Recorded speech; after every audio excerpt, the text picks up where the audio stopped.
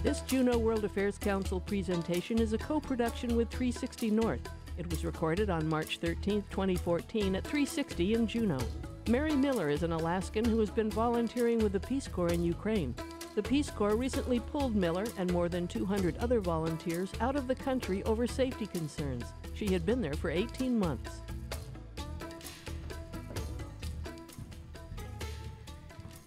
Hello, everyone. Um, I'm glad to be here. I see a lot of familiar faces, and um, so I'm going to talk this evening about my experience in the Peace Corps in Ukraine. Um, I've put together a slideshow, um, so I'll be referring to this um, to follow the presentation. I ask that you, if you have questions, to keep them in mind and save them until the end. Um, and then there is a microphone that we ask you to use um, when you do have questions. So, first to begin with, Dobro pozhalovat. That's the extent of my Russian. No, I do know a little bit more, but that is how you say welcome in Russian. Um, and you can see on the uh, presenta- on the picture here, there is a truck, and that is Cyrillic alphabet, and it says Alaska. And I was in my dormitory room, looked out the window, and I'm learning Cyrillic. And I said, I think that says Alaska, you know. And so, of course, I immediately had to run down the four flights of stairs out to the back parking lot. There were two men uh, washing this truck that delivers water, and I had Alaska pins that I gave them, and I told them, "My Stadt, Alaska," and I think they looked at me like I was a complete wild woman.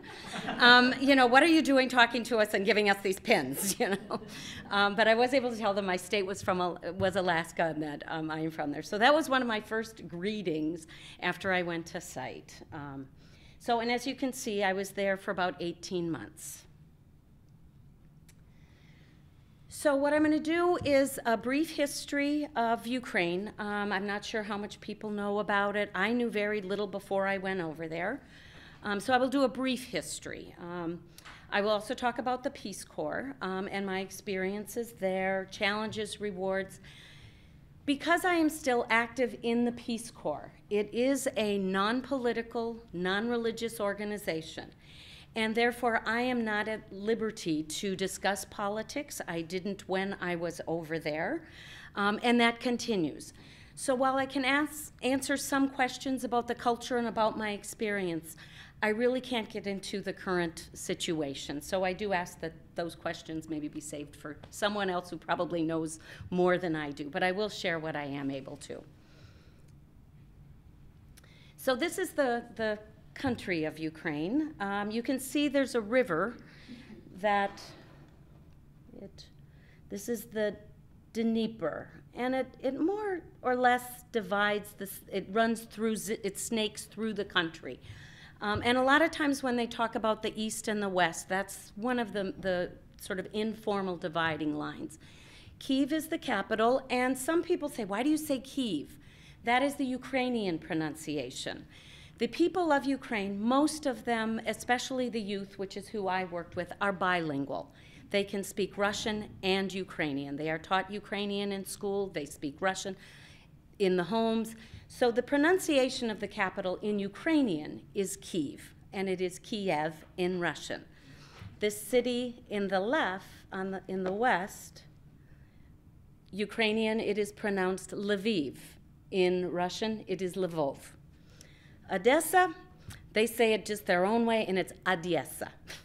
And it took me about six months to learn how to say that correctly. A lot of people say Odessa, and then they know you're not from there. Um, so these are some of the major cities. Um, there's Chernobyl. Um, we'll talk a little bit about that. And this city up here, Chernigiv, is where I first did my training for three months. So I lived in this town for three months and then moved to Odessa. So, Peace Corps. A lot of times when you think of Peace Corps, you think of Africa, a desert, a grass hut. Those kind of countries are what are referred to as developing countries. Peace Corps also serves in countries that are called, they're in transition.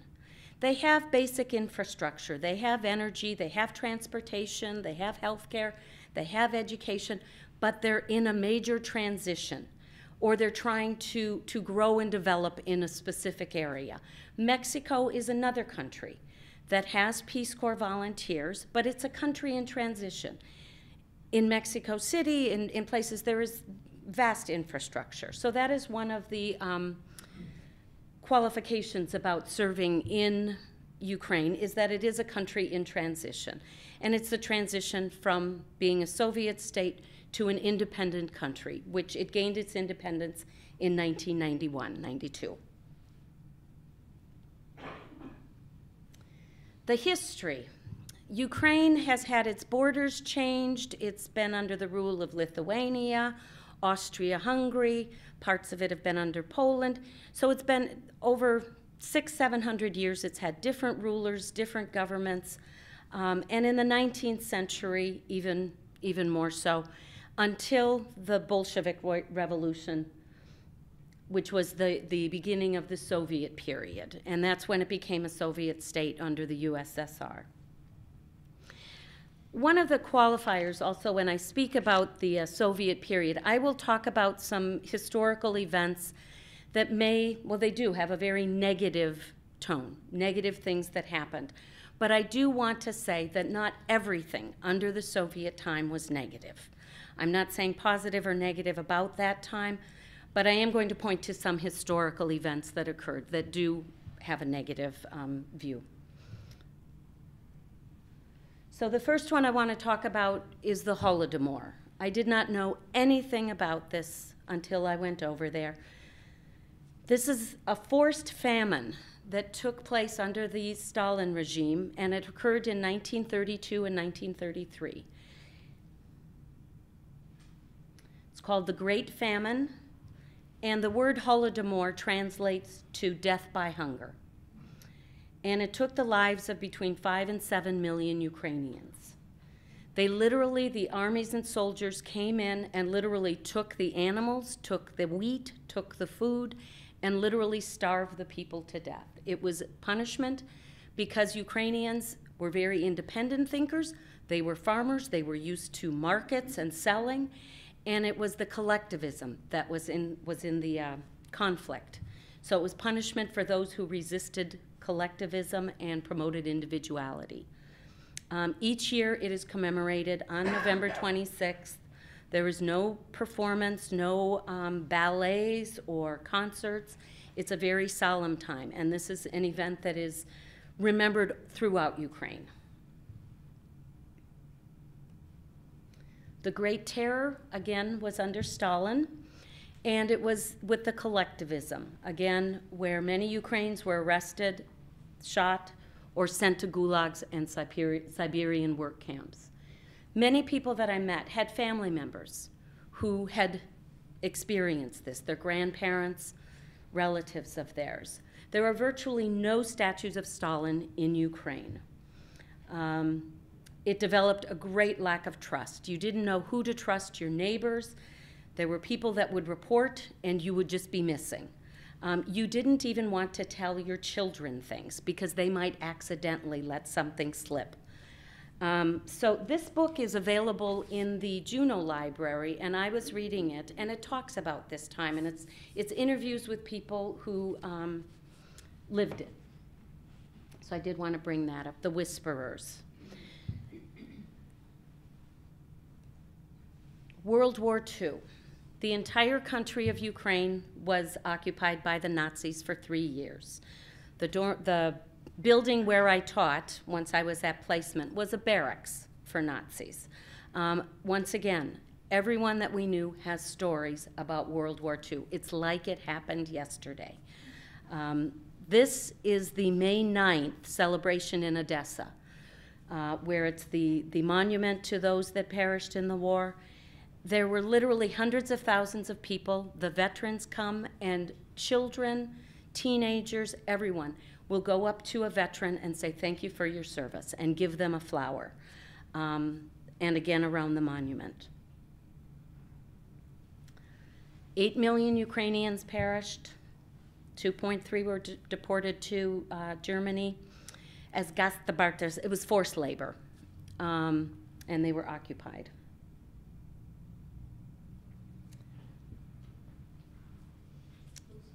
Cities were destroyed.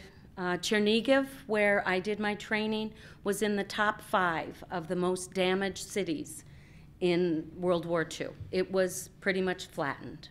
Um, and one of the other things that happened during the war is as the Russians retreated, as they were giving that up, as the Nazis invaded, they often then destroyed things that could be of use to the Nazis. So it was, it was like a double whammy that as the Russians retreated, they destroyed things, and then the Nazis came in.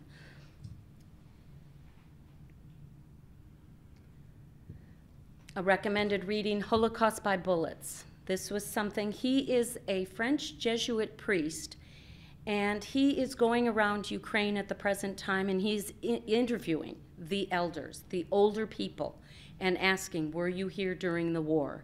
And he is getting the stories from them from when they were children. This Holocaust monument is in, it was down the street in Odessa from me. Um, there were, I believe, about 200,000 Jews living in Odessa at the time, and they were shipped off to camps, they were killed, um, and this is a monument to them. The, the slide on the right with the white circles, those are names of people who helped the, the Jews. Um, and so it is a memorial to them because of what they risked in helping to save Jews. The left and the top is in a town called Ternopil. You will see these monuments where it is known things that happened. But the book Holocaust by Bullets now is un uncovering many mass executions where it was before the concentration camps were built, where the Nazis came in, took the Jews outside of town, and just killed them. So there are mass graves all over Ukraine, many that nobody even knows about. And they are finding them now through these interviews and finding shell casing and, and things like that um, for evidence. The memorial on the bottom and the picture on the far right is a place just outside Kiev. It's called Baba Yar. And this is just the, the picture on the left, or on the right, is just a finger to a huge ravine. And in that ravine, in one weekend, 10,000 Jews were killed. Over 100,000 were killed during that time. They would line them up and shoot, and they would fall in the ravine. So this is, um, there are many monuments in this area to those people. And then after World War II was the Cold War. These phrases that are listed fear, pessimism, uh, critical thinking, ban on um, basic freedoms these are phrases that many of the Ukrainian Peace Corps staff shared with us in their upbringing, how they describe themselves. In our cultural training, one of the things that they did was they wanted us to understand why people might behave a, a certain way. That they called it the stone face. When I was receiving my training in Chernigiv, it was very marked that when you're at the bus stop, nobody's talking to each other. When you're on the bus, nobody's talking. Everyone has this, you just mind your own business. That was something that through generations they learned that you do not draw attention to yourself. You keep things private. You do not share your views on things. That was through the Stalin period, and then it continued on through the Iron Curtain. The fear from days before. Then there was the Afghanistan War. This was a monument in Odessa. While it was a Soviet war, people from Ukraine did fight in it. This is in Odessa. And shortly before I left, I was at this um, monument in this park. It's at Shev- Shevchenko Park. And they had this entire buffet set up. And they were having the veterans from the war come, and it was a ceremony to honor. It was the 25th anniversary of the end of the war. Chernobyl nuclear disaster, April 26th. Most of you look like you may remember it or be old enough to remember it. Um, I don't have a lot of research about it, but um, apparently only 31 people died in the actual explosion right away. But they estimate that at least 4,000 died in subsequent years. Um, there's a video that a documentary that's going to be coming out, um, and it's called Babushkas of Chernobyl, and it is about these group of women who were from there, and they decided to stay. So they have lived in what's called the dead zone. They farmed, they have animals, they have died from cancer, from thyroid, but there are still some remaining. And one of the remarkable things is that over 350,000 people were evacuated from this dead zone. Many of them had a harder time or died because of the, the lack of home, because of that displacement. Um, so they're finding it quite remarkable that some of these old ladies are living longer than people who were removed. And they talk about the spirit of what is home. One of the quotes from it is um, one of the women says, I know hunger, I can't see radiation, but I know hunger. And so to be at home, she's the self proclaimed mayor of a town of eight. Um, so, anyway, it's, it's quite remarkable, and I think it will be coming out in the near future. Corruption was probably the number one thing that we would hear from students, from the Ukrainian staff, everywhere. And one of the things I wanted to um, talk about with this is that it is on every level. It is. It used to be in the schools where grades were bought. You just went and paid the teacher, and you got your grade. Um, and you may, maybe you were a B or a C, but you wanted an A, so you paid a little more. It didn't mean that you didn't study or you weren't a student, but it was just a standard operating procedure. A friend of mine got her driver's license, and she said, I'm a good driver. I didn't pay for my license. And I asked students about it, and they said many people just pay for their license. You don't take the test, you just pay for it. Um, and you hear stories about the, the police force where you can get out of a ticket, you just pay it directly. Um, and then all the way up into the federal government or the, the national government, but co corruption on the scale. So this is the, the country again, and I wanted to point out they, all of these little dividers, those are called oblasts. And it's similar to what we would consider a state, um, but they are called oblasts, and there are 24 of them. Um, the government, I believe, is still centrally located in Kiev and runs things through the oblast. That it's not as though the people at the local level um, necessarily elect all of the people that are running their oblast. That there is a, a, a large influence from the capital. So now I'll talk about Peace Corps. Um, I see some of you, I think, have been in the Peace Corps, so I don't know if some of the rules have changed um, or some of the, the factors. But um, so it took about a year, year and a half to apply. They do legal background, medical background, look at your education, your work experience. Uh, they look at where there's openings, what kind of services they're looking for in specific countries. Um, Peace Corps serves only in countries that want Peace Corps volunteers. So the host country has to say, yes, we want Peace Corps volunteers. The host country also says, and this is what we want them to do. There are different kinds of volunteers. Ukraine has three slash four kinds. The first one, I was TEFL, that's teaching English as a foreign language. Youth development works with uh, maybe children and orphans or Boy Scout kind of groups, after school activity programs. Um, and community development might work more with the smaller villages on things. Maybe in the villages they, they don't have a good waste collection system or recycling or um, different things like that. So that's the type. There's a new kind of Peace Corps um, volunteer, and it's called Peace Corps Response. You can be a previous Peace Corps volunteer, or you don't have to be. Um, these placements are generally five to 12 months long, and you apply for a specific position that's called Peace Corps Response. You do not get three, three months of language training. You come with a specific skill that they are looking for. So they, they may waive, you know, a language requirement and, and have a translator for you, if your skills are something that they're looking for. So that there were also Peace Corps response volunteers in Ukraine. Uh, the usual term is 27 months. three months of training, and then two years at site.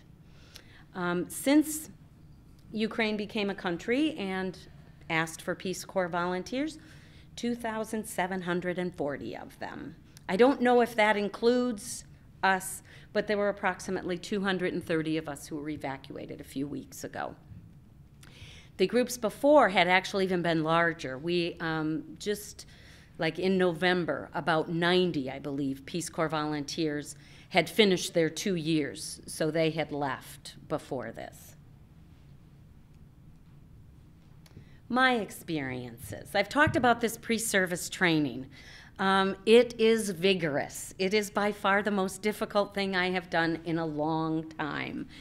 It is six days of language training for four and five hours, cross cultural training, learning how to ride a bus, how to buy things at the market, the money system, the Cyrillic alphabet. One of the things about language is our, my group was 61 volunteers when we arrived. And the group is divided. Some will learn uh, Ukrainian and some will learn Russian. They will receive that education. I received a little bit of training in Ukrainian, uh, but for the most part, my lessons were, uh, were uh, to learn Russian, which meant I was most likely going to be in the southern or the eastern part, and those learning Ukrainian were going to be in the central or the western part of Ukraine. Um, we learn um, the volunteers teach at all levels of school. So there are some that are specializing or learning about elementary school, some are secondary. The mature volunteers, which is what we call us, um, we were asked um, to teach at university level. When I first went over there, I was going to teach post secondary. Um, and then on the bus ride from Kiev to, Chern- to Chernobyl to Chernigiv, um, she asked some of us um, if we would switch, that they had more demand for university than they had volunteers. Um, and so they asked us to switch. And so I was teaching. Uh, so I learned about the university system um, and different teaching methodologies. One of the things they talk about is communicative approach. It's not doing lecture format, it's getting students involved in things, using music, different mediums. Um, and then one of the things we are not required as TEFL volunteers to do a community project but they want us to be aware of it and that we can do secondary projects um, if something presents itself as a need and we're interested in it, but it is not required. My host family, on the, on the right, um, I lived with Valentina and Yari is her son. Um, and then her mother would come in from the village and often was selling potatoes at the bazaar and would stay. That is my room um, at the top left.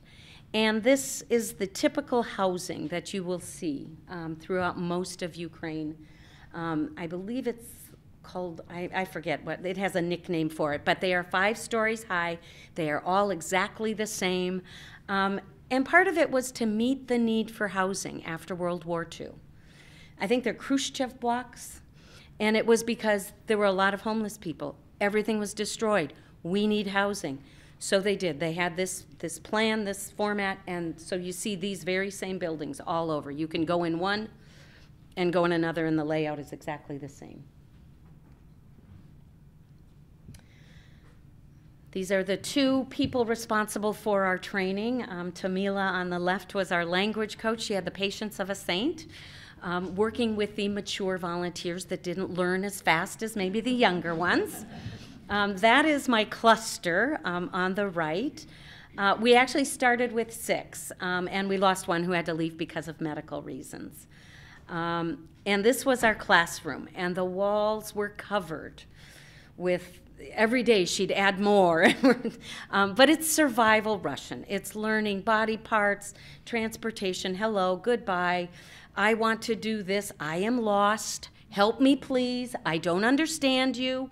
Um, learning how to say those things in Russian. I think a lot of times my face did the talking, but um, smile and a handshake.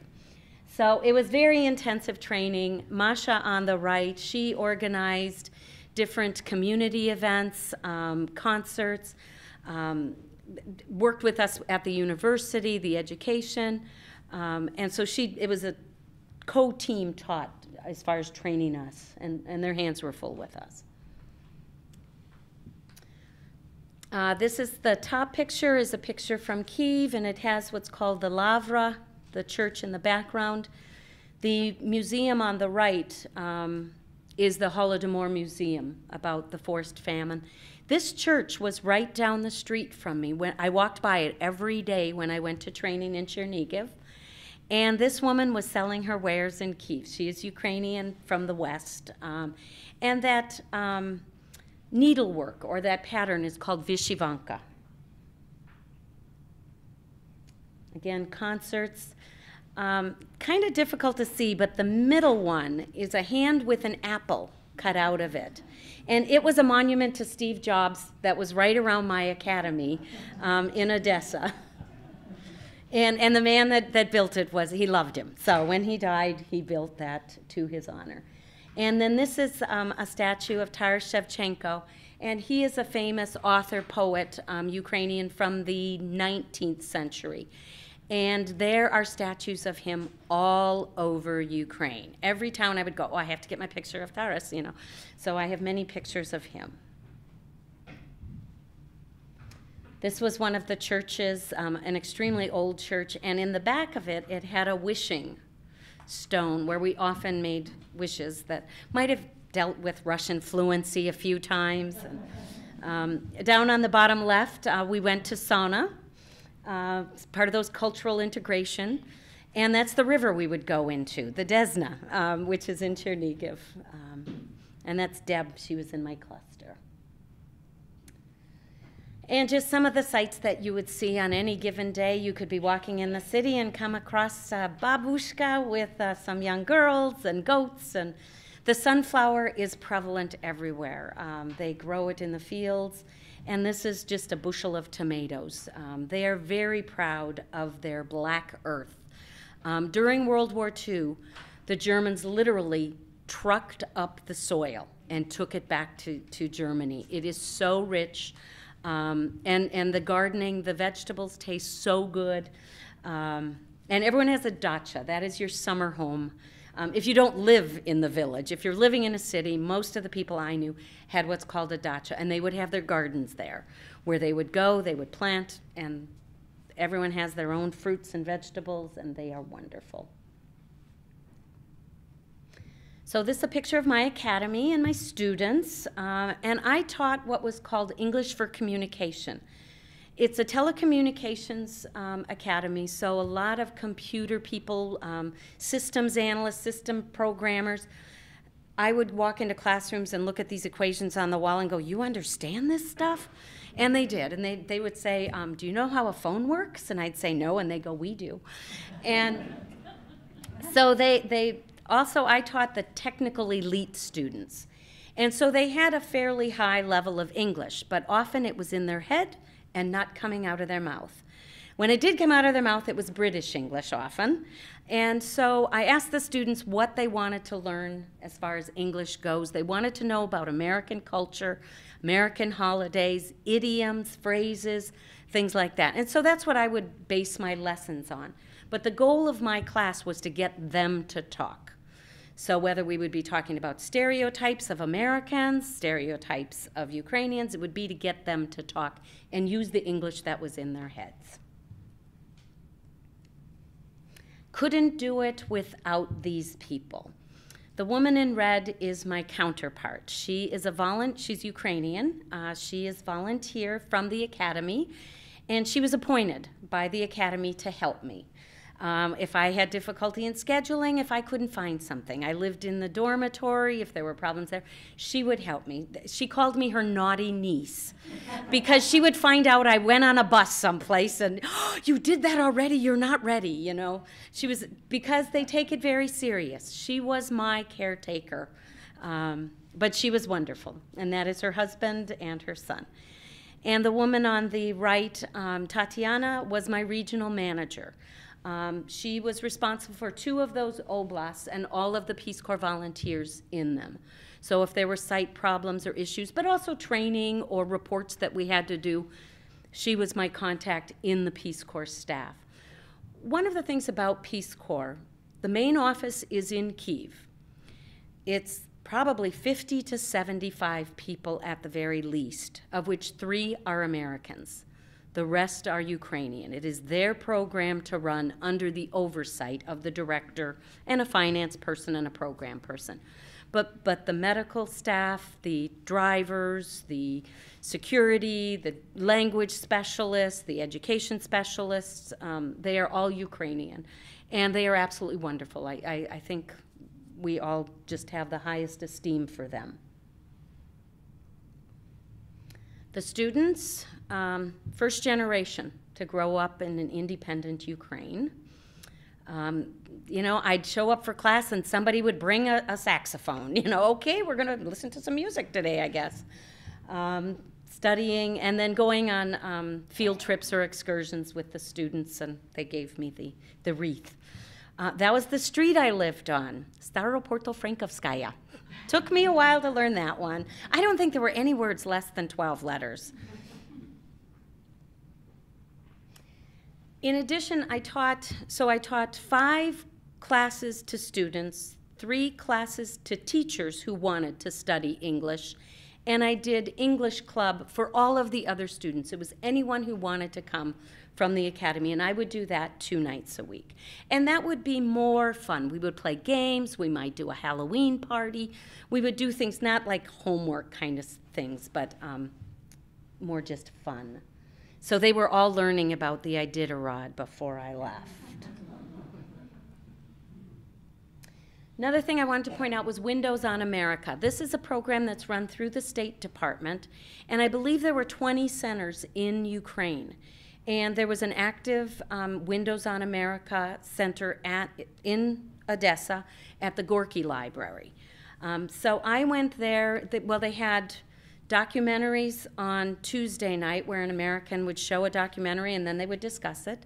Thursday night was read a short story, come prepared, discuss it. Saturday was film club, watch an English language film with English subtitles most of the time, discuss it. And then the librarian asked um, me to do game day. They had these games that nobody was using. And some of them were um, using language, and some were just fun. So as long as we were together and talking, it was seen as beneficial. So these are some of the people from that group. Odessa is where I lived. Um, it was a place that most everyone would have loved to have been, and when they told me it was my placement, I panicked.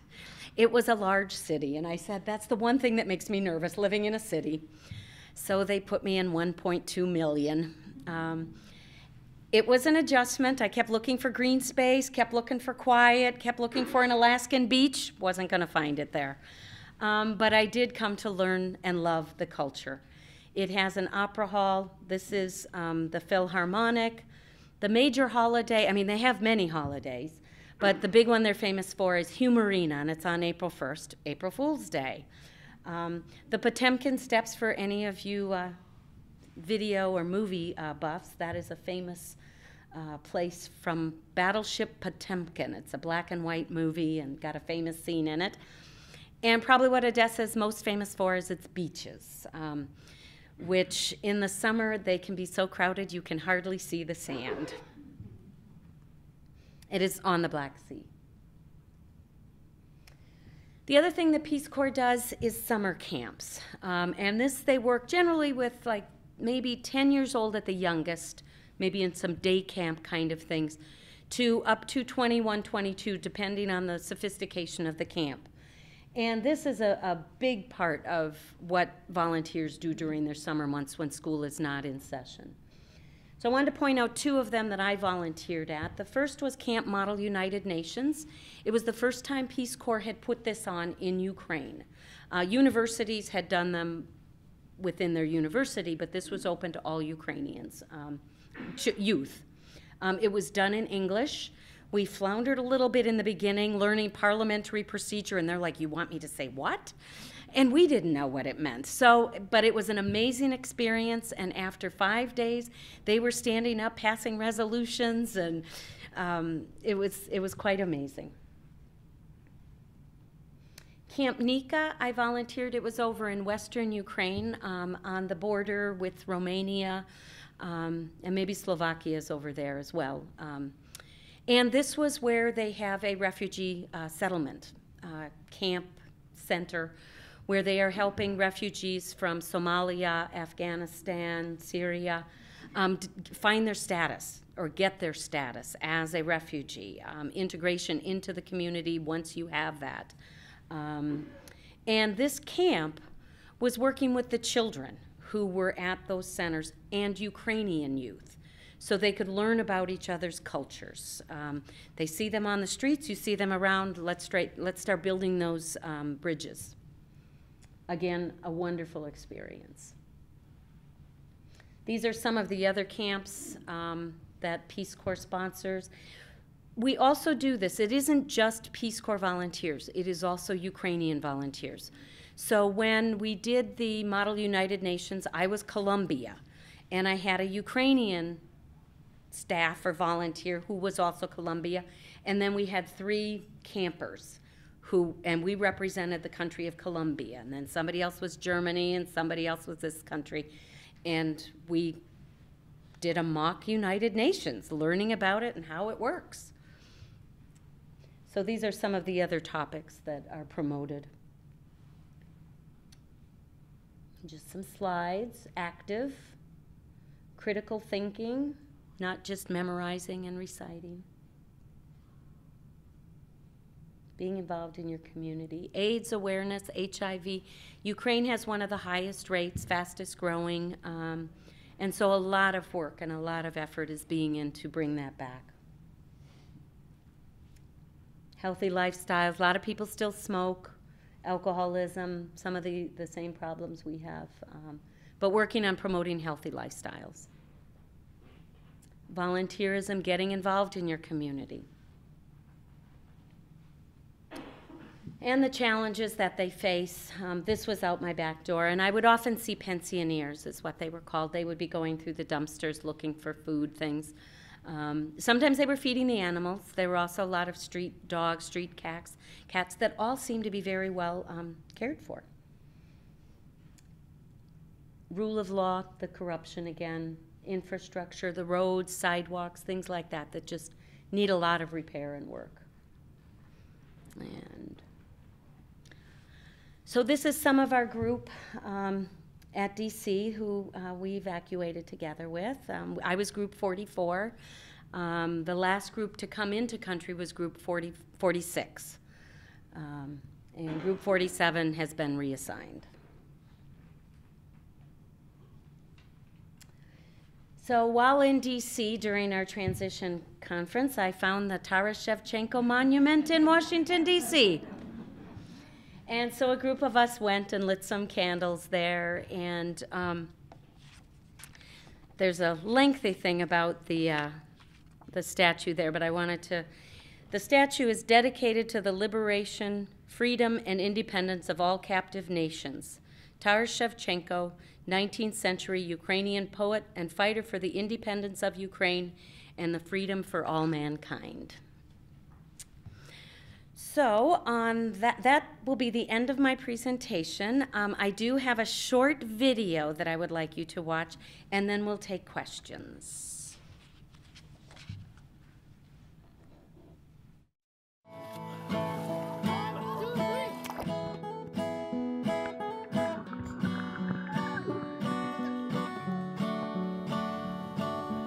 best ideas come at 3 a.m. I can see the start, not the end. Set sail through a black sea of paper, and all my friends said that I was mad cause I peddled away everything I had. I don't care what I've lost, cause I know what I've got. Mom, I'll be safe, dad'll make you proud. Think it's time for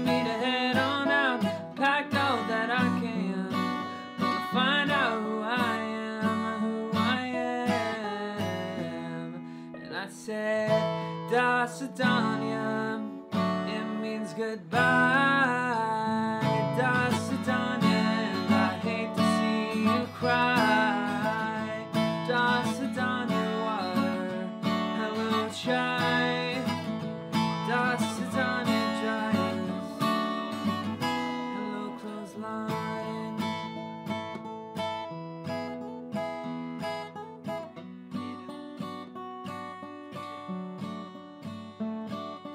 Jetty running up and down the hall, breaking up the little classroom brawl. It's a simple present tense. Am I making any kind of sense? And there's some shrew cuss, pickpockets, nuclear rain, margarita, pizza, bears, mayonnaise. Tell me how did I get here?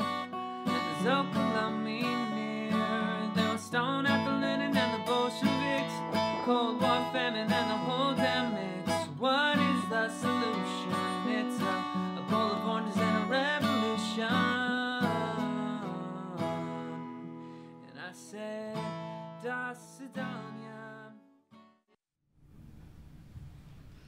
Okay.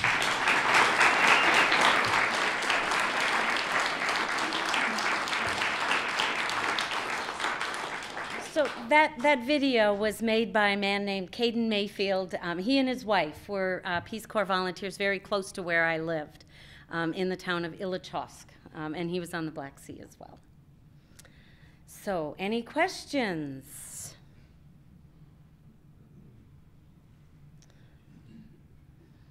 Oh, um, please use the mic.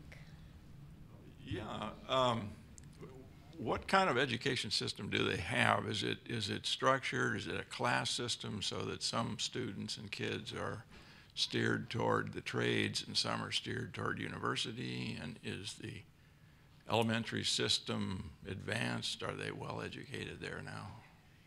You know, I can I can talk a little bit about the. Edu- I'm certainly not an uh, expert in that.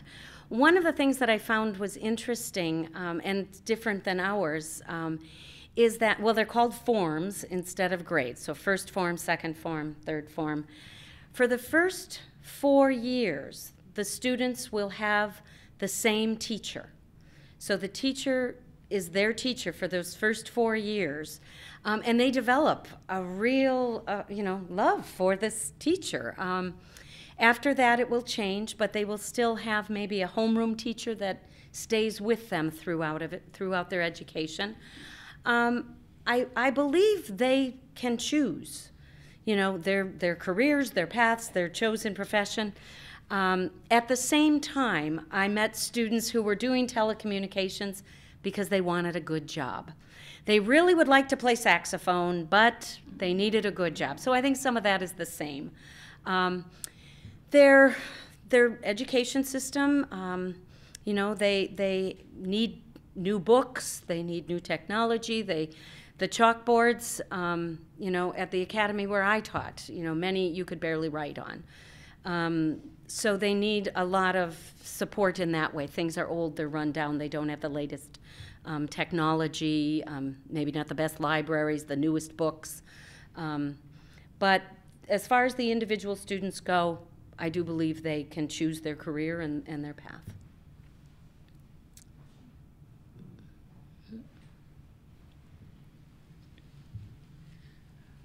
Just a little clarification. If I understood you correctly, you said uh, at the beginning of the talk that, that everyone speaks Russian at home and they study Ukrainian in school? No. No, okay, then I No. misunderstood. Um, no, so Ukrainian, since independence and since it became a country, Ukrainian is the official language. So they teach it in the schools so that everyone is learning Ukrainian um, for those that grow up in a Russian speaking house. But no one is prevented from speaking Russian, um, but they are teaching them. And so the children that I knew, the youth that I met, had received, if they grew up in a Russian speaking household, they could still communicate and understand most of the Ukrainian because they'd received it in school. Um, but you still speak whatever language. There's also one, um, it's called Surzhyk, and it's the blend of Ukrainian and Russian. That yeah, the the people that are in those communities, they're like, I don't know what I'm learning. I'm not asking you to take sides, but what did you see in Odessa in the way of demonstrations or other things reflective that there was political unrest in the country? In, in Odessa, I didn't see much. Um, I was there um, during the Euromaidan, and most of it really was located in Kiev. Um, we were also instructed, though, that if you saw something, if you saw a large gathering, get away, um, just to avoid any sort of perception of a conflict or that we're supporting one side or the other. So if there was a demonstration of sorts, I would have left, but I never even saw that.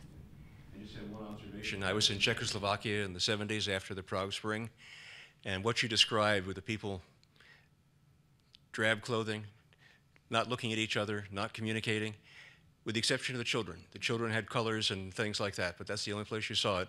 A very similar reaction to the situation. Thank you.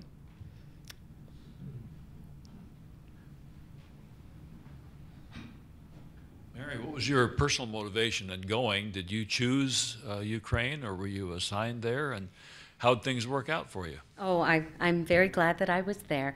Um, no, with Peace Corps, you do not get to choose your country, and even within the country, I did not get to choose where I where I got to go.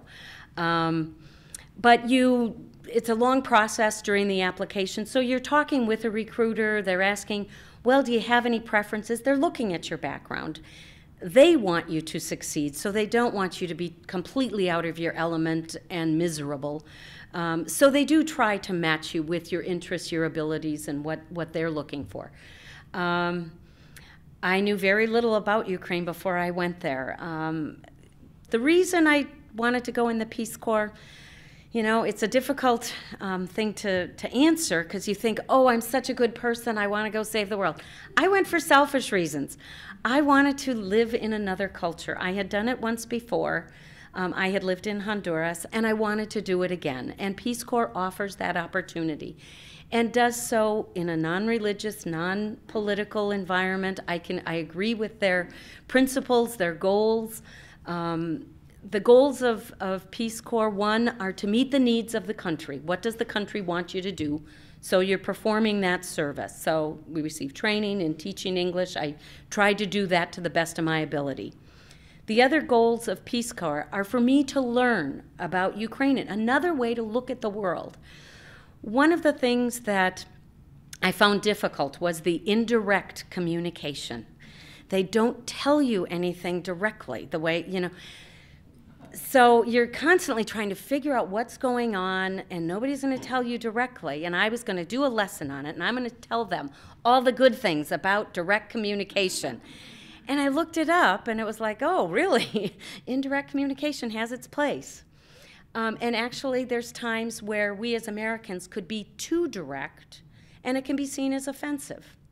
That really you didn't need to be as blunt or as direct that maybe an indirect method of communication would have gotten the same result in maybe a better fashion. So while I was there, I was learning about myself and also learning new ways of looking at things um, that maybe we don't always do things the best.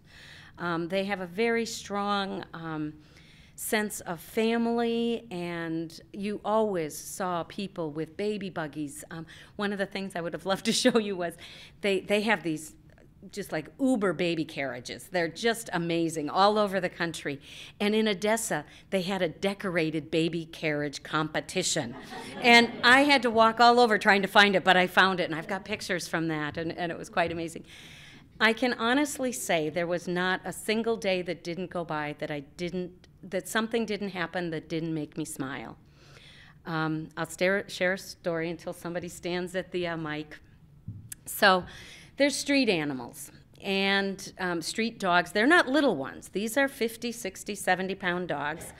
Um, one day I was walking and there was a babushka. We are told if you're ever in any problem, go to them, they'll help you. Well, I saw her sitting over there and she had a dog near her and I passed by and and just minding my own business, not bothering anybody. And then these three dogs are like barking and they are going to eat me alive. So I'm backing up and I'm, you know, and she's then she starts telling me, go ahead, go ahead. And I'm like, no. um, she gets up, she grabs me by the arm, and we go walking. She goes, she says something to the dogs, they lie down, and we walked right through them, and then, das vidanya, and I'm like, spasiba bolshoi. You know? Things like that just happened all the time um, as far as fond memories, so I'm glad I was there. You showed some uh, great photos of churches in uh, parts of uh, the Ukraine. What role does uh, religion and church play in Ukrainians' uh, current society? I, I think it's a very important um, part in that I, most of the people I met belong to either the Russian Orthodox or the Ukrainian Orthodox. Um, I imagine, like in our culture, you have your Christmas, Easter, um, maybe people that just go to church on those days, but they have wonderful traditions and ceremonies. Um, I wish I was going to be there this year for Easter because I didn't know about it last year. But they will get up at 2 in the morning, 1 in the morning, and you go to the church and you take this basket that has very specific meat, wine, bread, cheese, very specific things in it. And the whole community is coming to the church to get their basket blessed in the middle of the night. And they will light candles and it will be all outside. I didn't know what was going on. I was sleeping through it this year. Um, so there, religion, I believe, plays a very important part.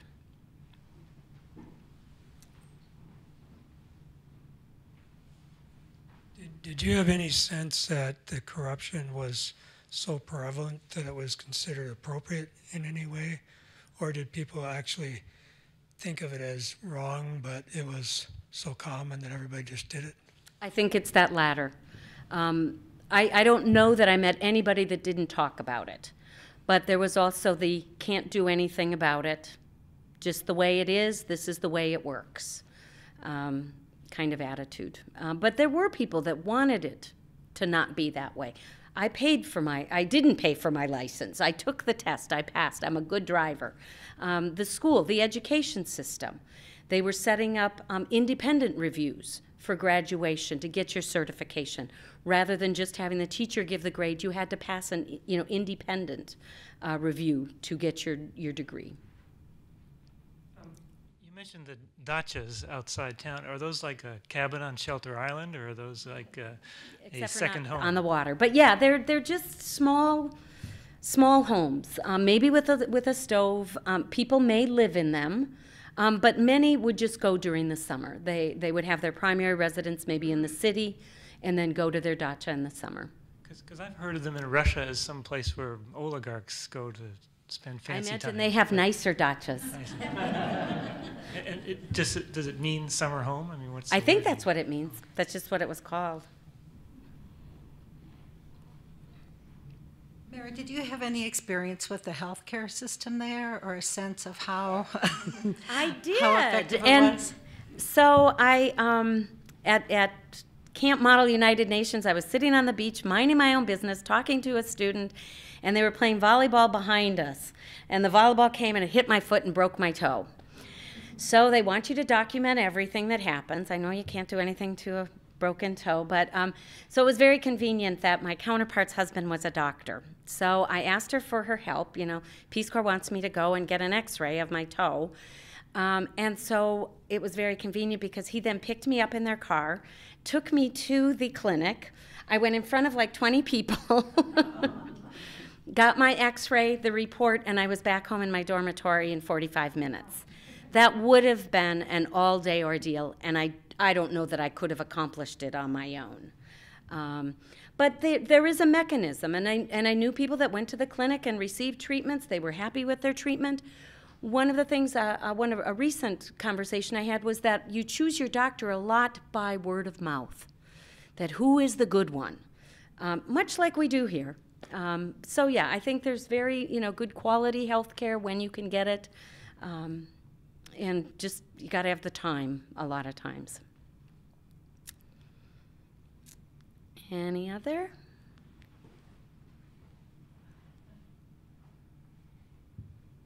You mentioned that teachers stay with their students for the first four years in school. Are those teachers generally women? Are they both sexes? How does that work? Oh, I would think mostly women, um, but I, I was at the university level, so I don't have as much knowledge about the, the early years. Before all the changes that started happening recently, what kind of attitude did people have towards Russia? Was it, you know, this is our, our brother, you know, this is part of it, or, you know, sort of negative? You know, I don't know. Um, there was definitely a pride in, in being independent, in, in being an independent Ukraine. Um, and so, I mean, I didn't necessarily hear any animosity or anything negative beforehand. Um, but it was more pride in being an independent country. Okay. Oh,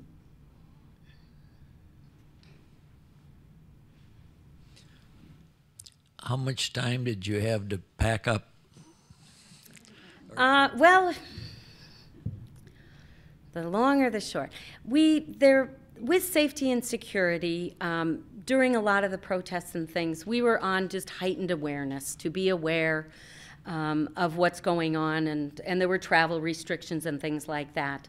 Um, we I only received less than 24 hours of the actual evacuation.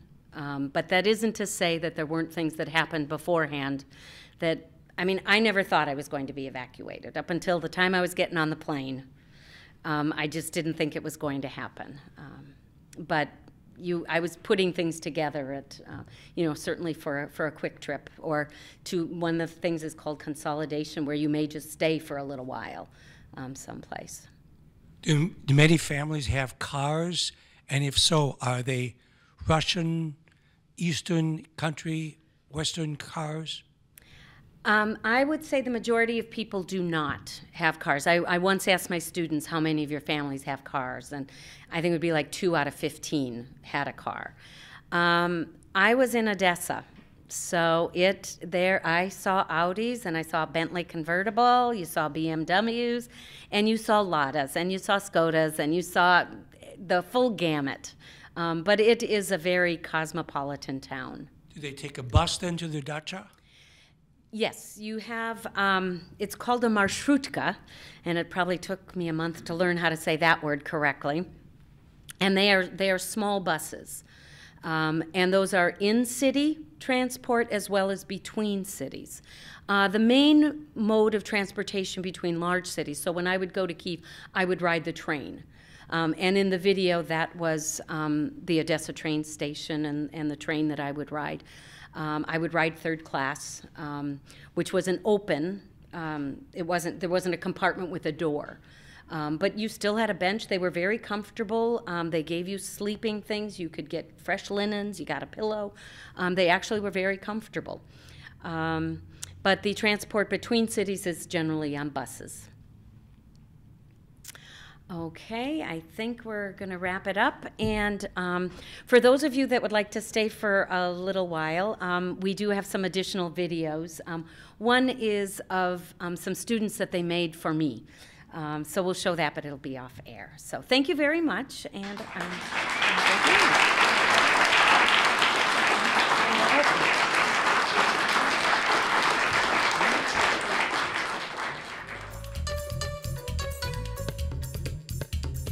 Mary Miller spoke about her experience in Ukraine as a Peace Corps volunteer in this Juneau World Affairs Council presentation. It was produced in collaboration with 360 North and recorded on March 13, 2014 at 360 in Juneau.